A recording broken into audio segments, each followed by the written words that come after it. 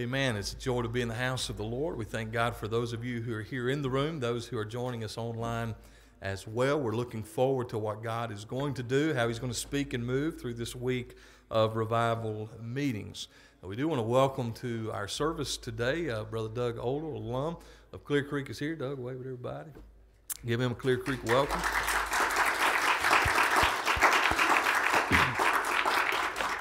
And then Brother Sam and Tomasa Reisner, they're here as well this morning. Good to see them.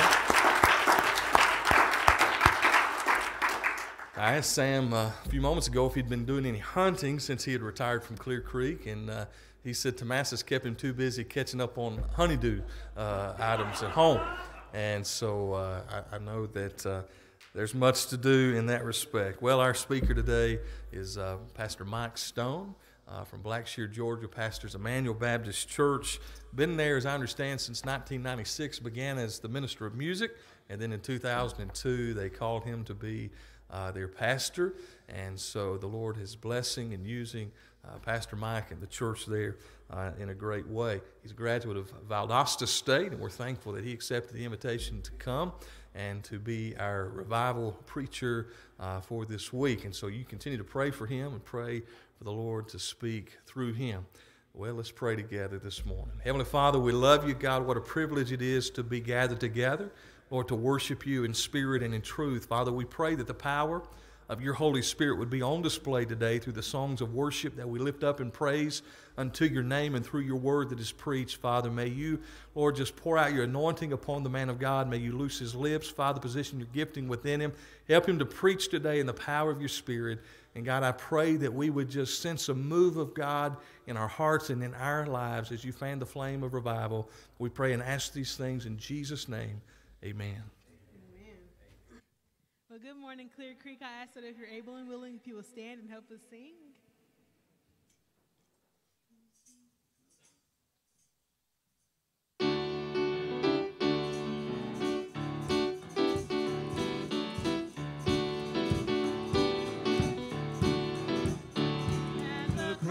sacred head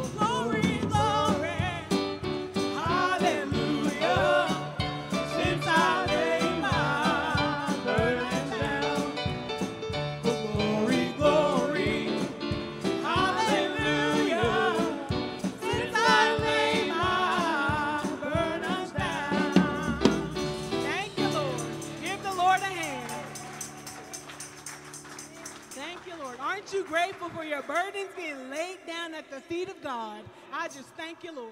So at this time, I'm going to ask that if you're feeling led, if you would come to the altar and we're going to take a time just to thank God and to praise Him for who He is, not for what He's done, but just who He simply is. So if you feel led, come to the altar and we're going to pray.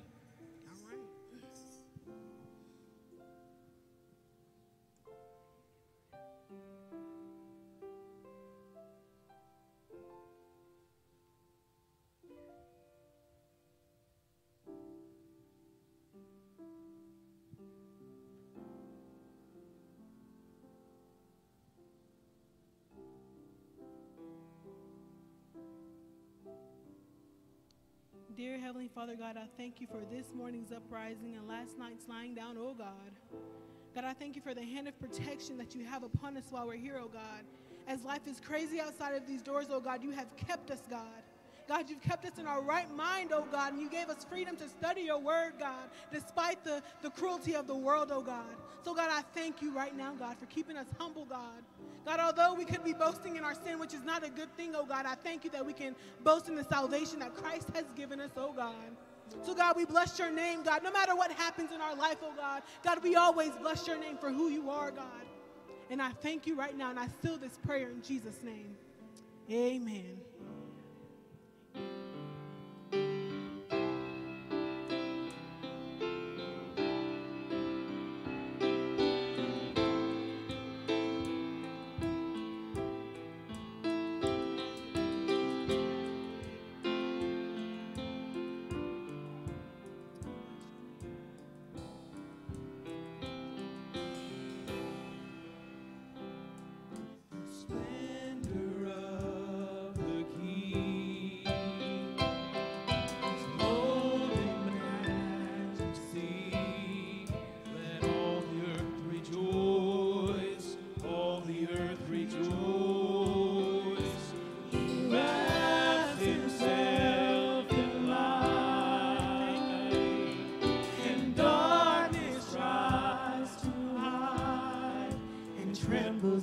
His voice, trembles at his voice.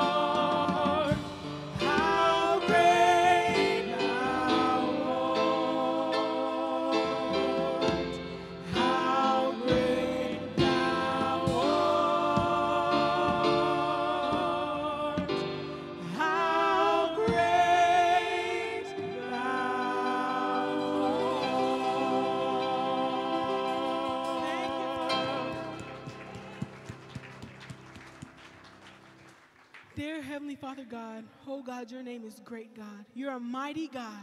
And God, I thank you for keeping us, God, keeping us in our right mind, God, giving us the word that we need to live daily, oh God. For it's a daily battle, God, to stay right. But by your word, oh God, we can live right, oh God. God, I pray that as the speaker comes in this hour, oh God, that you will give him a tongue of clarification, oh God, and allow us to decrease, God, that you will increase in every aspect of our life, oh God, and give us a renewed heart, a renewed mind, a renewed strength. In Jesus' name I pray. Amen. Amen. The psalmist said, Great is the Lord and greatly to be praised.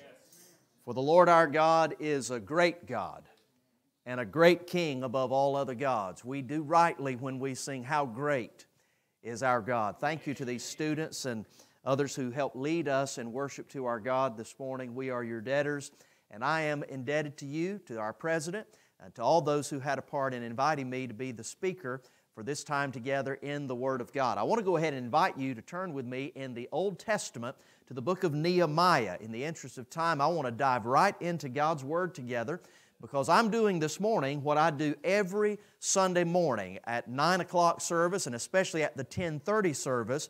I'm standing between a bunch of Baptists and lunch, and so I want to get right to the heart and literally the meat of the matter as we look in the book of Nehemiah, chapter 6, in just a moment, we're going to read verses 1 through 4.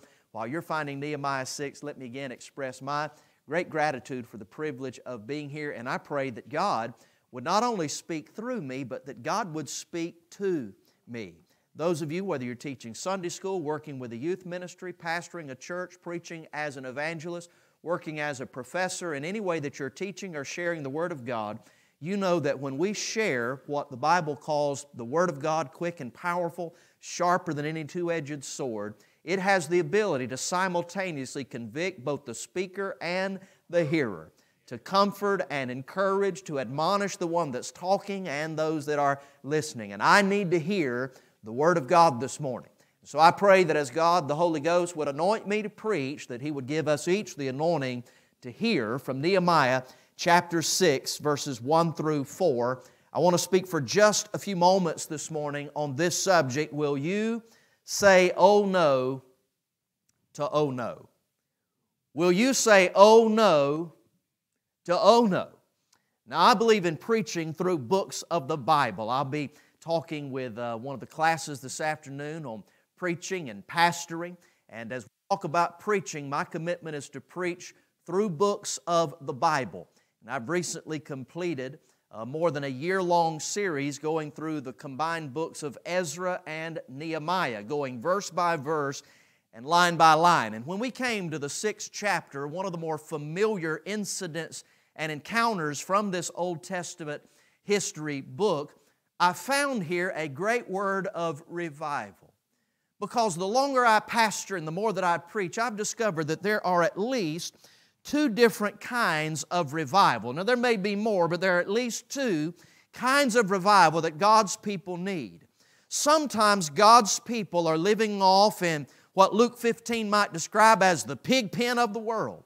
And we need the man of God to take the Word of God with the power of God to kick us in the seat of our spiritual britches and draw us back from apathy and waywardness and backsliddenness. And we'll, we'll probably sometime this week have a revival message like that. But what I want to start with this morning that I think is on the heart of God is the other kind of revival. And that's the kind of revival that a, that a weary person gets from a good night's sleep, or a, or a hungry man gets from a good meal, or a thirsty woman gets from a good, tall, cool glass of water. It's when you're tired and you're tempted to grow weary in well doing. And I want to bring a word of reviving encouragement this morning, uh, presented in the form of a question Will you say, Oh no, to Oh no? I think you'll understand my title as we read the word together. If you're able and willing to do so, I invite you to stand to show your honor for the public reading of what we know to be God's, listen now, His inspired, infallible, inerrant,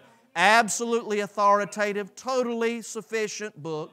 Someone has said when, when the Word of God is read, it's as if God is speaking. I said, no, it's better than that. When the Word of God is read, God is indeed speaking. And here's what he says in Nehemiah 6. Now it came to pass when Sanballat and Tobiah and Geshem the Arabian and the rest of our enemies heard that I had builded the wall and that there was no breach left therein, though at that time I had not set up the doors upon the gates, that Sanballat and Geshem sent unto me, saying, Come, let us meet together in some one of the villages in the plain of Ono.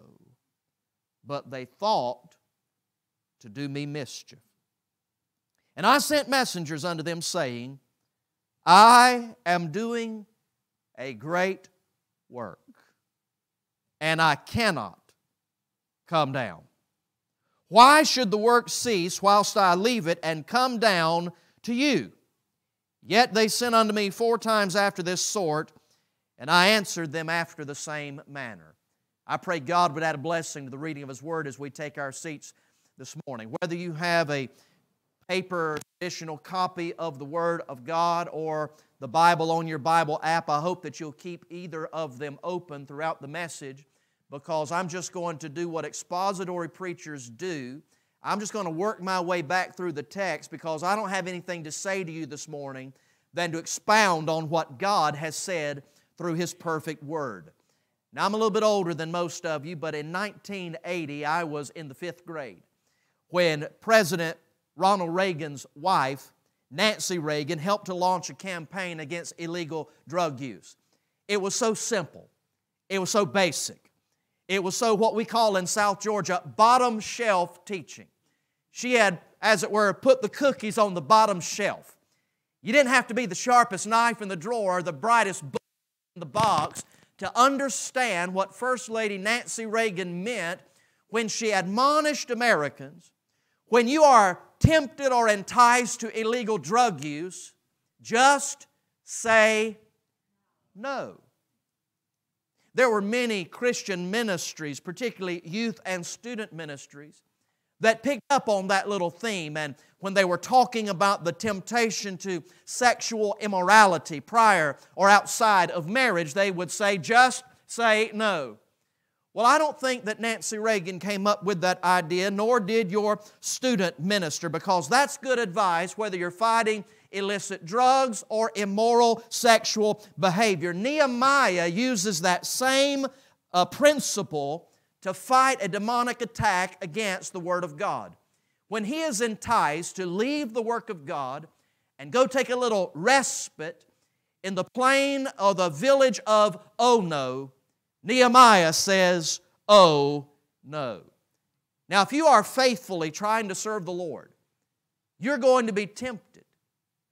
You're going to be enticed. You're going to be discouraged to the point that you'll want to throw in the towel, call it quits, give up, give in, and give over. And I find in these four verses there are three basic principles that will help us to say, oh no, to the temptation to leave the work of God for the plain of oh no. I hope you'll take a pen, a piece of paper, or maybe your notes app on your smart device and jot down these three things. Number one, you have to realize you have an assignment to embrace. You, as the child of God, have an assignment to embrace. Now, I don't think I have to rehearse for this assembly this morning the historical context of Nehemiah 6, but let me just give you the Cliff's Notes version. Nehemiah was the servant of God and the servant and the cupbearer of King Artaxerxes. He, he was burdened by the report that he had that the city of Jerusalem lay in ruins and that the walls still lay in desolation. And so he sought the hand of God and he sought permission from the king of the Medo Persian Empire to leave that place of captivity, to go back to the city of Jerusalem and to be used by God to rebuild those walls. I want you to see that when Nehemiah came to the city of Jerusalem to rebuild that, that structure, he did indeed come on an assignment from the king. But it wasn't from the king of Persia. He had an assignment from the king of glory, from the king of heaven. He had an assignment from the king of kings. Now, that may sound romantic and super spiritual, but if you are a born again child of God, you too have an assignment from the Lord. The only question is, will you embrace that assignment and faithfully fulfill it, or will you shirk that assignment and leave it undone? Every child of God has an assignment from the Lord. The Bible says in Romans chapter 8, verse 9, that if you don't have the Holy Spirit, you don't belong to Christ. I don't want to wrinkle up your theology unless it's wrong. I want to iron it out. Every Christian has the Holy Spirit. If you don't have the Holy Spirit, you're not saved.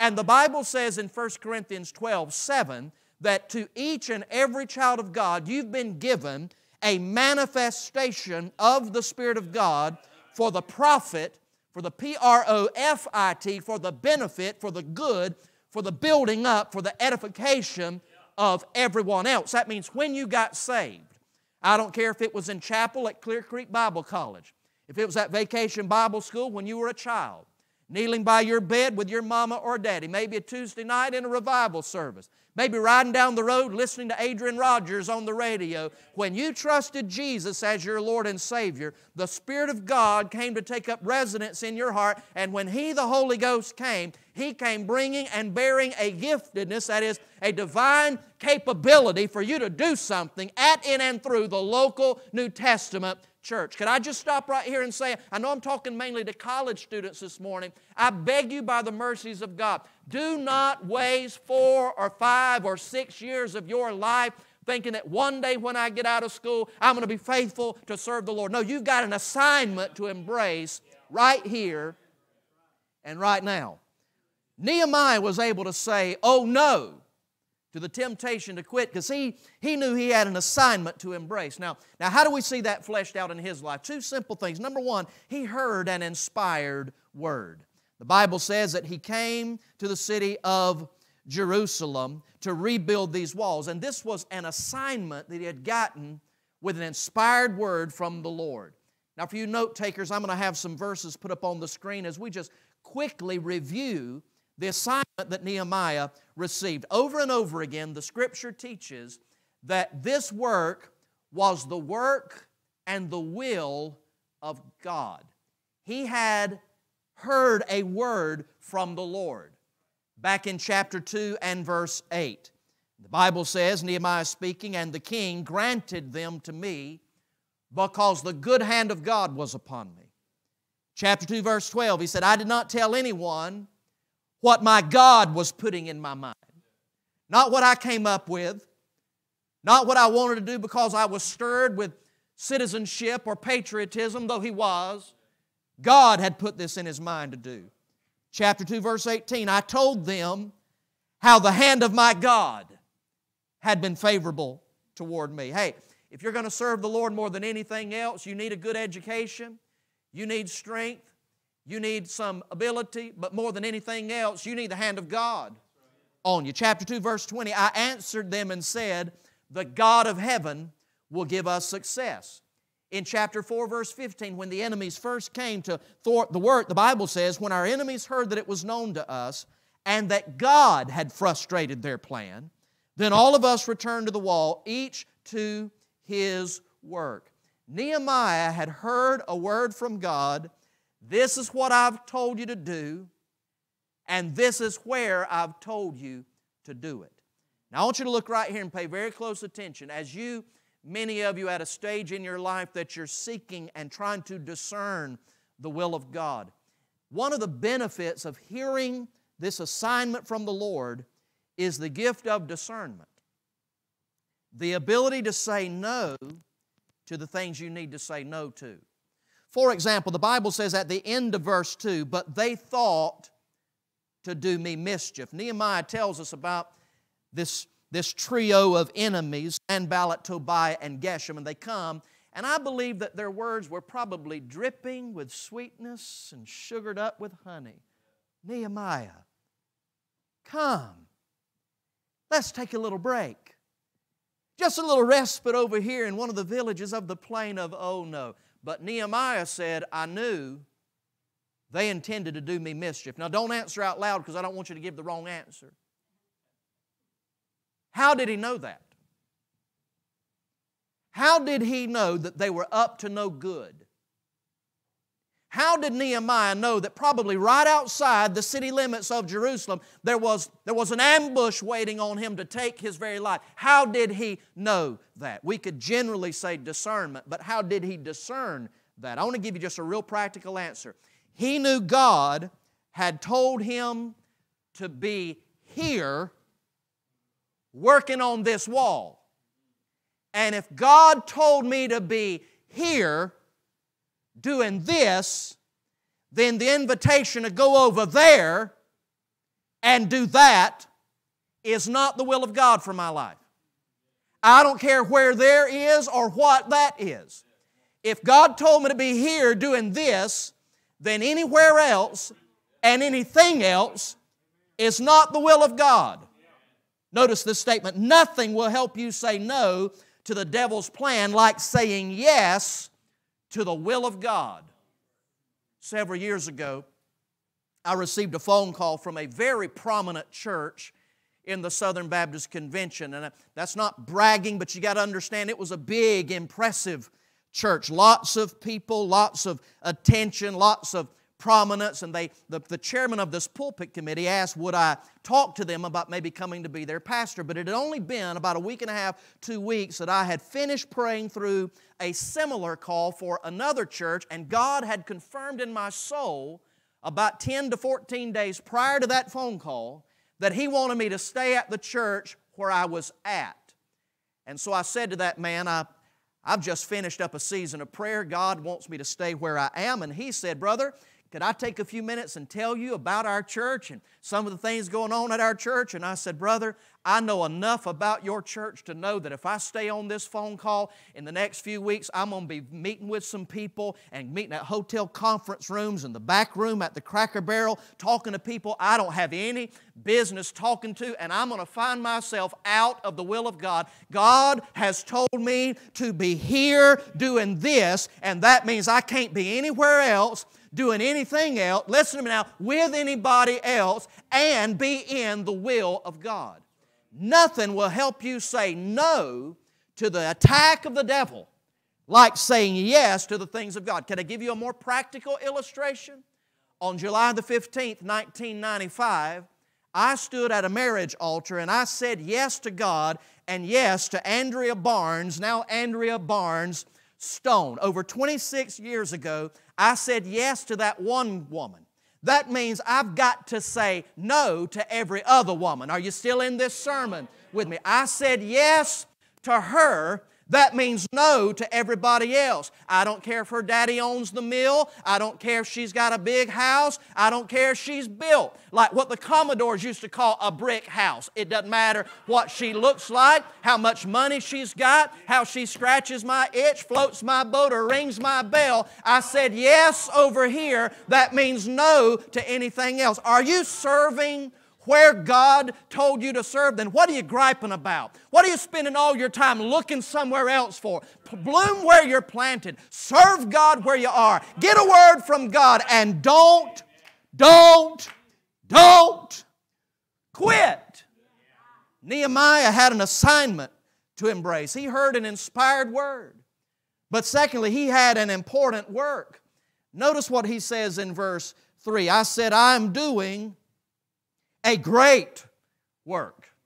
Now, you Bible students ought to get out your Strong's Concordance or use your online resources. You'll find that word great.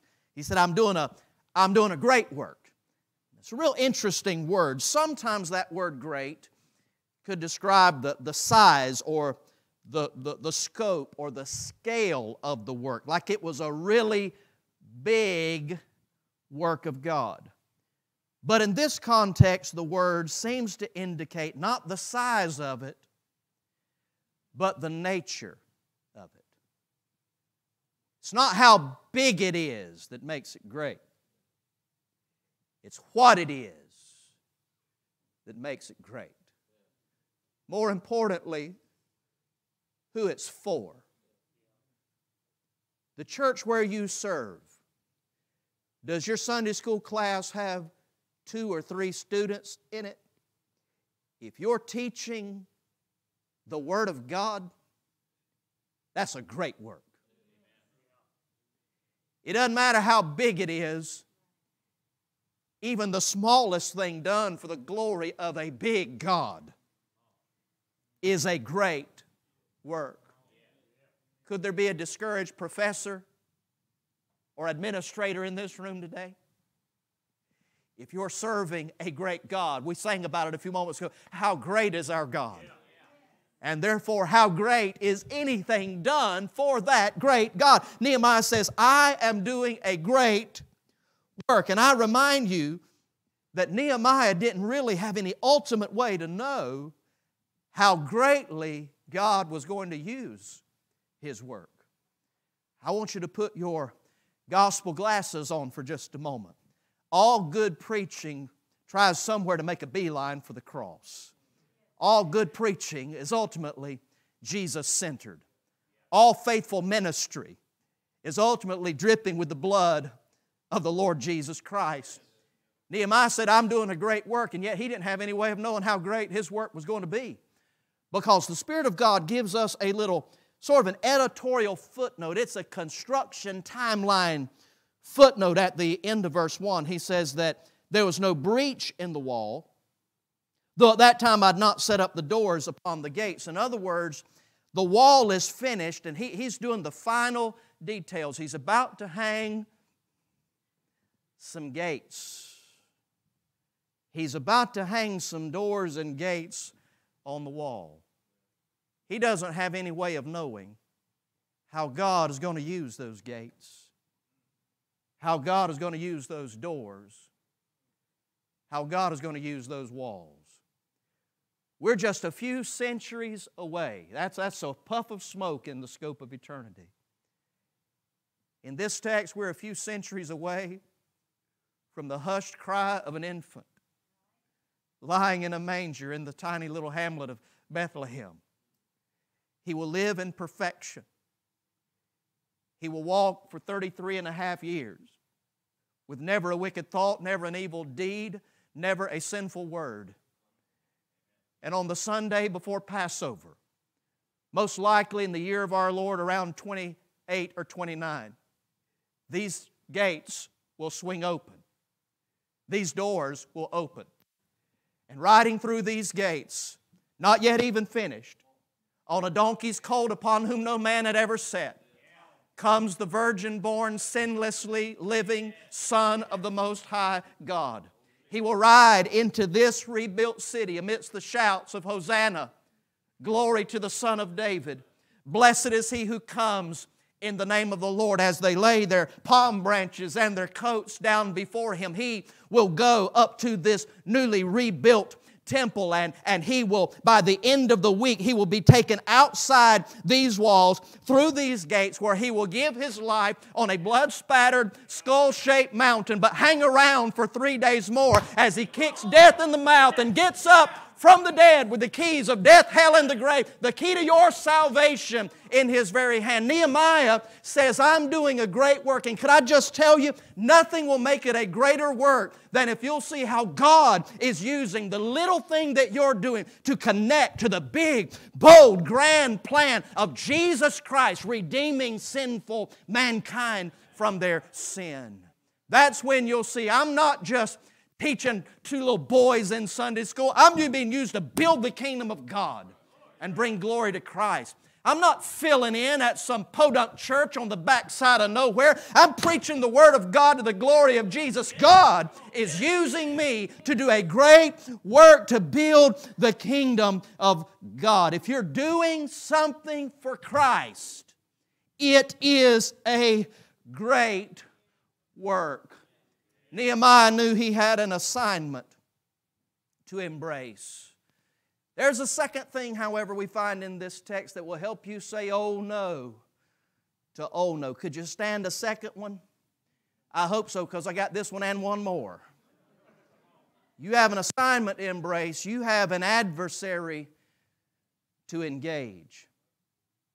Hey, look right here and listen to me. One of the occupational hazards of serving Jesus is opposition. It may come from a deacon, it may come from a WMU director, It may come from a church member. It may come from a politician trying to close the doors of your church. It may come from under your own roof, from somebody that bears your last name. But there will be opposition to the things of God. Now they come and they say, Come, let us meet in one of the villages in the plain of Ono. Now you need to know that Ono was a seaside region. It was an area near what we would call the beach, a place of rest, recreation, and relaxation. How subtle, scheming, seductive this opposition was. When will opposition come? I want to give you two answers, and we see indication of them right here in this text. Pastor Mike, when can I expect the adversary to oppose me? Well, first of all, he'll come in times of success, when things are going well. Nehemiah is on the verge of completion. He tells us in this text that the walls have been completed, the gates and the doors are being finished. By the end of the chapter, the entire 52 day wonder filled project will be completed. In our day, we would say, if you've ever built a house or been involved in construction, we would say they're, they're going through the punch list. They're finishing up trimming the baseboard. They're screwing on the doorknobs. They're installing the last of the plumbing fixtures. I mean, the end is in sight. Things are going well. In my ministry, I've come today to testify to you you are never more ripe, never more of a sitting duck for the devil to attack you than when you least expect it, when things are going well. You young marrieds need to listen to the preacher this morning. Your marriage is never more susceptible than when you let down your guard and you think our marriage is strong, our, our relationship is great. We don't have to read the Word together anymore, we don't have to pray together anymore. And you'll discover that an unguarded strength is a double weakness. Opposition came in times of success. Now, if you don't think the devil will try to attack you when everything is going well, just ask Moses. I mean, God had used him to lead Israel out of Egyptian bondage. They've crossed the Red Sea. He's been up at the top of Mount Sinai. Face is glowing with the Shekinah glory of God. And the whole time, his associate pastor is down in the valley teaching the people how to build a golden calf. Now, if you don't think God will, that, that, that Satan will come against you when things are going well, just ask Elijah. Confronted the prophets of Baal up at the top of Mount Carmel, literally called fire down from heaven. And within days, he's running for his life from Queen Jezebel, finds himself under a juniper tree asking God to take his life. Now, I've often thought if he wanted to be killed, he could have stayed back at the top of Mount Carmel, and Jezebel would have taken care of that for him. Satan comes to attack the plan of God in times of success.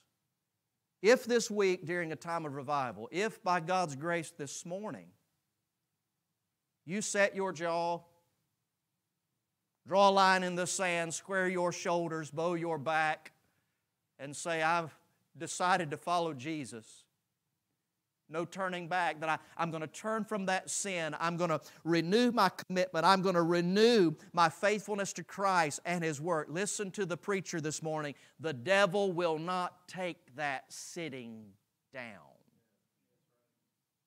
Expect opposition in times of success. But notice the opposition also comes in times of struggle.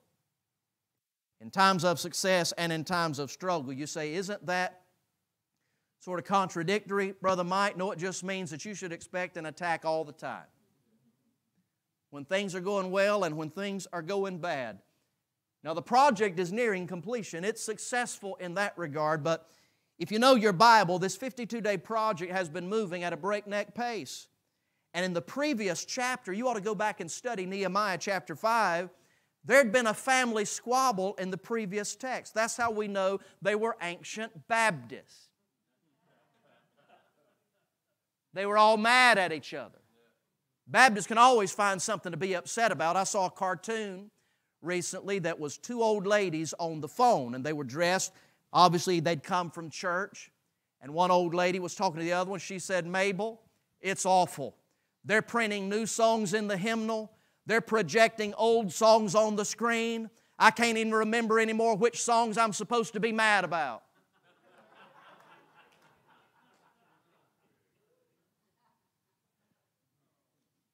Now, the people who are laughing are the ones who serve faithfully in the local church. They know what I'm talking about. Here's Nehemiah in chapter 6 with, with a brick in one hand and a bunch of backslidden, angry Baptists on the other. How easy it would have been to throw in the towel.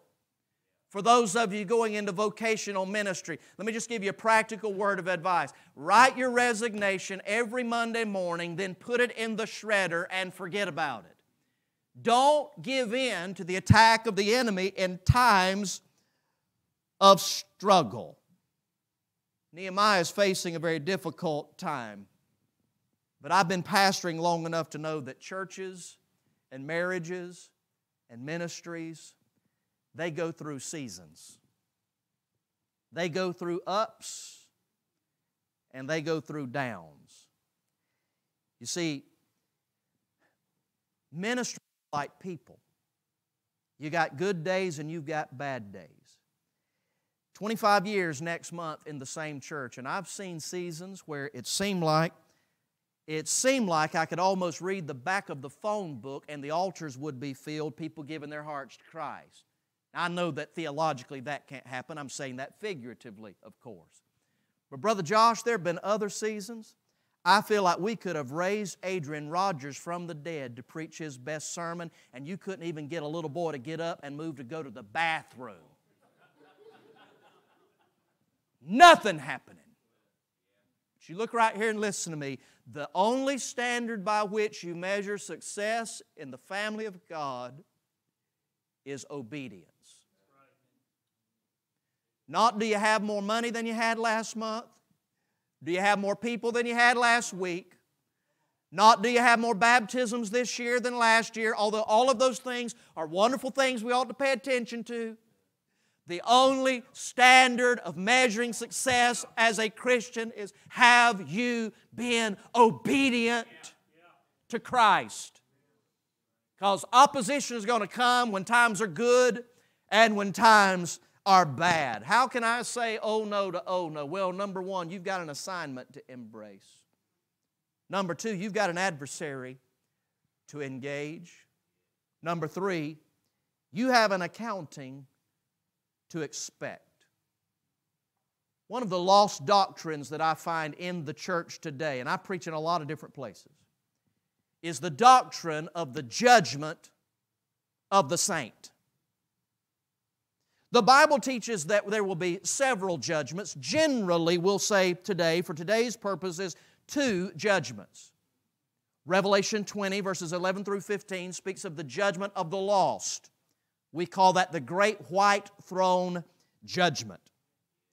But the Bible says throughout the New Testament that those who are redeemed will still stand and give an account for our life not to determine whether we are saved, that's settled at the cross, but to be evaluated, examined, hey, scrutinized, and rewarded for our service to Christ.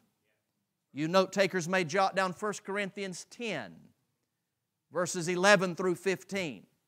Speaks of the process of that judgment. 2 Corinthians 5:10 puts it this way, "For we must all appear at the judgment seat of Christ to be recompensed, that means to be paid back for the deeds done in the flesh, whether they be good or bad." Romans 14:12 says, "So then each one of us will give an account of himself to God."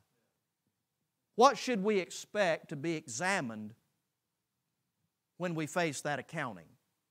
The reason I want to show you a couple of things in the life of Nehemiah is because of this.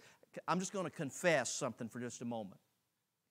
When I look back over much of my life, much of my ministry, and even much of my pastorate, we spend an awful lot of time on stuff that isn't going to matter a hill of beans. It's not going to matter. My wife and I, and each of our four children actually, are avid deer hunters. Archery season opened in Georgia just this past Saturday. We're getting ready for rifle season that, that opens up on October the 16th. And we've got deer mounts all over our house. We've got, my, my office is in deer mounts. We, we love to deer hunt. I was visiting last week with a member of our church who was struggling with cancer. He actually went to be with the Lord early yesterday morning. Having visited a number of times with them, there's this massive deer mount on his wall. It's the kind, for those of you who deer hunt, when I asked him, Where did you shoot that? I knew he was going to say Texas or Iowa or Kansas, some great place like that. And he, he pointed back to the tree line on the edge of a field there by his farm. He said, I shot it right back here. When I went to leave last week, he commented that I've always, that I like that deer. He said, Preacher, take that deer if you want it. Means nothing to me. If you know anything about deer hunting, there was a time that he had cameras all up over the back edge of that field. Pouring corn everywhere. We can do that legally down in Georgia, by the way. getting up at 4:30 in the morning spraying himself down with the urine of a barnyard animal climbing up a pine tree with a Gatorade bottle for a bathroom peanut butter and jelly sandwich for lunch staying up there from before sunrise till after sunset but there's something about death puts things in perspective Take it if you want it. Doesn't mean anything to me. I want to admonish you as we close this morning to live with eternity in mind. There are a couple of things that I see pictured in these four verses that we will give an account for at the judgment. The first is what I would simply label the completion of the work. The completion of the work. Verse 3 And I sent messengers unto them, saying, I'm doing a great work, so that I cannot come down. Why should the work cease? Now, this is one reason I think the Holy Spirit gave us that little construction footnote at the beginning of the chapter. They're almost done. Brothers and sisters, he could have handed this job over to any number of his assistants. We're almost done. We're, the finish line is in sight. Take over, finish this job. I've got a meeting that I've got to go to. But he said, God did not call me here, listen now, to start something. God called me here to finish something. Anybody can start a race. If you gave out prizes for starting races, we'd have President Romney.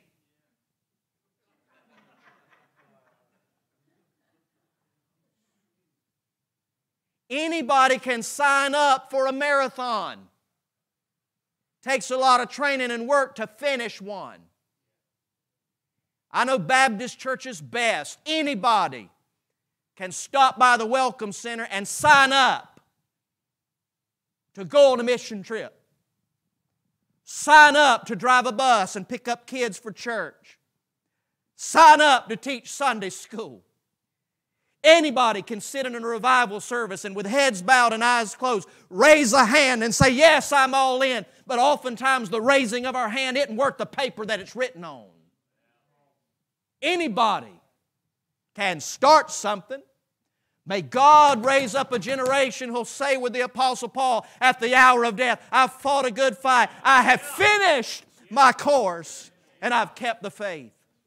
Sometimes when we preachers preach funerals, we'll say, This dear brother, this dear sister has finished their race. Sometimes that's not true. They didn't finish their race, they died in the middle of it. Because they started something, but they weren't willing to see it through and to finish. Some years ago, we hired a new music minister at our church, and one of his first responsibilities was to get someone, presumably a lady in our church, it had typically been ladies, that would oversee our various children's choirs. We have three or four children's choirs in our church. We needed a children's choir coordinator. He came to staff meeting one day, this brand new music guy, hadn't been in our church maybe two or three weeks. He came in, oh, wonderful news. I've enlisted a children's choir coordinator. We was about to sing the doxology. Hallelujah. Who is it? And when he gave a name, we're all like, oh my stars.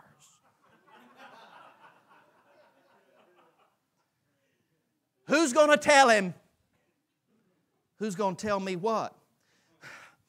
Who's going to tell you that that girl that you signed up, young adult lady about the age of some of you in this room today, she don't come but about twice a year. And every time she comes, she's going to sell out and go be a missionary to the African jungle. She's going to go be a missionary down on the Amazon. She's selling out her life, going to, going to be a, a full-time women's ministry director, going to sell out. God's called her to be a preacher's wife. God's called her to do this. God's called her to do that. And won't be back for the evening service if the Braves go into extra innings. I'm saying anybody, anybody can start something. Nehemiah said, God didn't call me here to start something. God called me here to finish a work. Is that not what the Lord Jesus Himself said down by Jacob's well when He spoke to that Samaritan woman? His disciples, they'd been in town, probably went to Chick-fil-A, got some of God's chicken, brought back some of those waffle fries. They said, they said, Jesus, you want some lunch? And he said, I, have already eaten. Now I'm paraphrasing, but this is what the story means. He, he said, I've already eaten. They said, Who brought him some chicken minis? And he says in John 4, My meat is to do the will of the Father and to finish his work. Now, if you know your Bible, that's not the last time John will use a form of that word, teleo, and put it in the mouth of the Lord Jesus. For in John chapter 19 and verse 30, just before breathing his last, our Lord, with his arms stretched out on Calvary's cross, said Tetelestai, It is finished. I've done all of it. I've accomplished all of it. Not paid in part, paid in full. I've done everything, Father, that you have sent me to this world to do. And I just want to stop by for a moment today and say, if He came that far to finish a work for me, then I want to live my life and finish a work for Him. You and I will be evaluated on the completion of the work. Finally, we'll be evaluated on our commitment to the work. The completion of the work, the commitment to the work. Verse 3 again, I sent messengers unto them. And by the way, verse 4 just says that winning this battle one time won't be enough, that the enemy keeps coming. And he's got to answer the same way every time.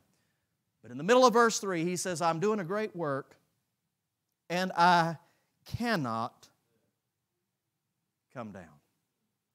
Now, we believe, and I know this school believes, in what is called the verbal plenary inspiration of Scripture. Plenary, of course, means we believe it all, from Genesis 1 to Revelation 22.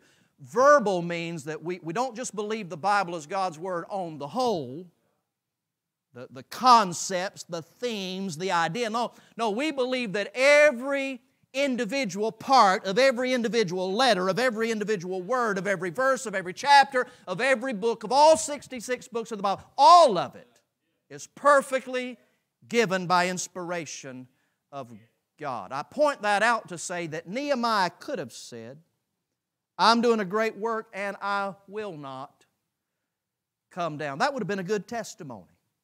Wouldn't have been anything wrong with that, but that's not what he said. He could have said, I'm doing a great work and I'm I ought not come down. That, that'd, be a, that'd be a great statement of devotion, but that's not what he said. Under divine inspiration, the word here speaks of an incapacity, an inability.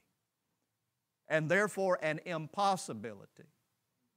I'm doing a great work.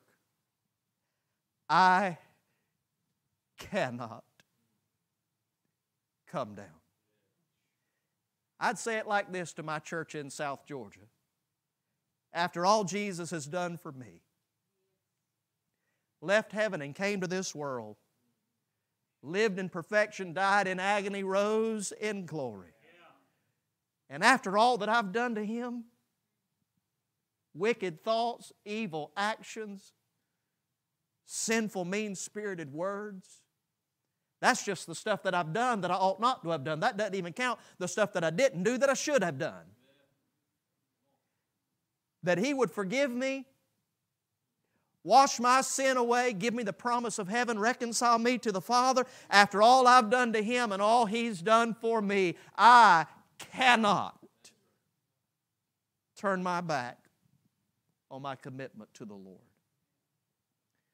One of the most fascinating stories I've ever heard comes from the world of high school athletics. It was 2010. A young lady by the name of Holland Reynolds. You can Google this and, and find this story in places like the New York Times and, and others.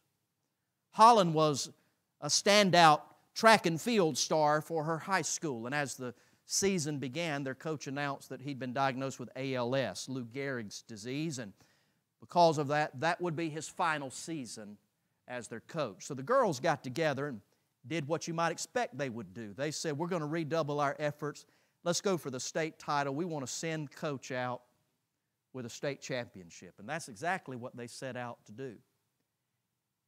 And the story is told that they come down to the, the, the, the final event of that year. They're leading in all the state numbers. All they have to do is finish that last race. As long as they finish and are not disqualified, they're going to be the state champs. And Holland Reynolds is running the last leg of that multi runner event. She was expected to win. So everybody was surprised when runner after runner after runner after runner after runner crosses the finish line and Holland is not in sight. After what seemed like a long period of time, they see on the horizon coming around the corner this young lady, Holland school uniform. It's her, and she's, she's limping, she's struggling. If you know anything about running, she's got this strange gait to her, to her step. They could tell that she's in trouble. They, they, they rush over to the side of the running area and she, she's waving them off. She, she's telling them she wants, she wants to finish. She, according to the New York Times, she collapsed two yards, six feet away from the finish line, waving off all of the medics and everyone, telling them that she wants to finish. And she took 20 seconds to crawl the last six feet. When she crossed the finish line, they finished last in that event, of course, but they won the state title nonetheless. And all the local media were there. And one reporter asked her what she was thinking about with all that pain that was in her body. She said, I didn't feel any pain at all. All I could think about was my coach on the other side of that finish line. And I wanted to finish. And I've come this morning just to simply say, Your heavenly coach is on the other side of life's finish line. Whatever would entice you to quit, keep on singing, keep on serving, keep on praying, keep on soul winning, keep on teaching that kid's class, keep on being a faithful husband, a godly wife keep on following the Lord. May our commitment today be that of the old hymn writer who simply said, I have decided to follow Jesus. No turning back. No turning back. Though none go with me, I still will follow. Why? I've decided to follow Jesus. No turning back. No turning back. Our heads are bowed and our eyes are closed just to remove distraction. I'm going to pray and we're going to be dismissed to lunch and our afternoon activities. But has the Spirit of God put His finger on any issue in your life? Is there a renewed commitment you need to make to our Lord this morning?